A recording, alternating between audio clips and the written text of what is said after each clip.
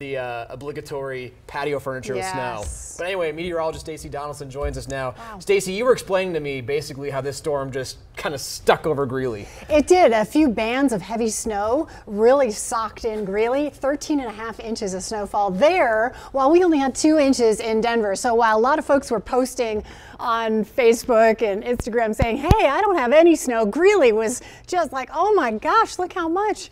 13.5 inches, 8.8 in Golden, about 7.5 in Lakewood, and about 3.4 at Denver International. And we're not done yet. We still have snow moving across the area. This is our time lapse from this morning into this afternoon. Cloudy skies, and that snow continuing to stick around. And we'll have a few more hours with very light snowfall here in Denver, but we could pick a couple more inches up here for the front range as we go in through tonight. So our observed highs today in the 20s and 30s. Our official high today, 32 degrees set at 12:01 a.m. But this afternoon we made it into the upper 20s, so that's what we're taking as our high for today here in Denver. 29 degrees uh, for our high, 26 for the overnight low. So not much fluctuation in our temperatures, the cloud cover, and the snowfall today. Our average high is 44 degrees this time of year. As for our weather headlines, sunny skies for tomorrow. Lots of sun and melting on the way. Our afternoon highs will be around 50 degrees to start the week. But our wind chill factor out there now feels like it's 13 in Denver, 14 in Greeley, and 17 in Sterling.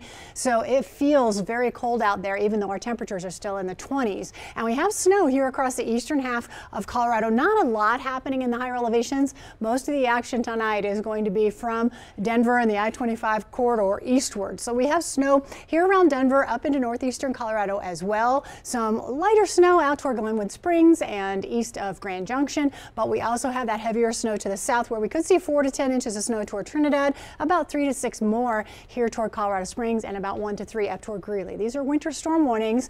The first to expire will be to the north. The last to expire will be to the south, and that's tomorrow morning at about 11 a.m. Winter weather advisories tonight here in Denver will expire at 11 p.m. Could see another one to three inches, two to four across the eastern plains, and farther to the south, they'll stay in effect until 5 a.m. tomorrow morning. And it's because that energy is going to be sinking to the south. It'll still be snowing down there early tomorrow, but tonight things clear out. This will be about 2:30 in the morning.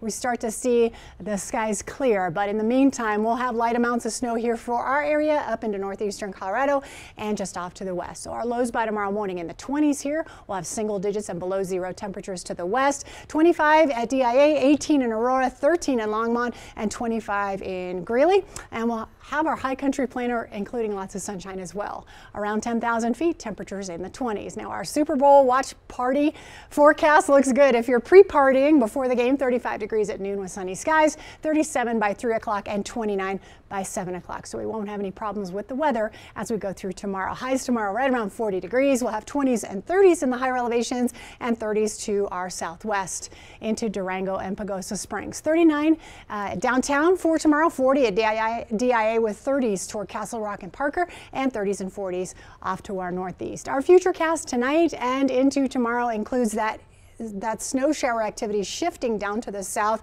and everything really clearing out as we go into tomorrow. As for our super seven day forecast, 49 degrees on Monday, 50 on Tuesday, and 51 Wednesday. Another front coming through Thursday with a chance for some snow showers in the evening and mid 40s to round out the week.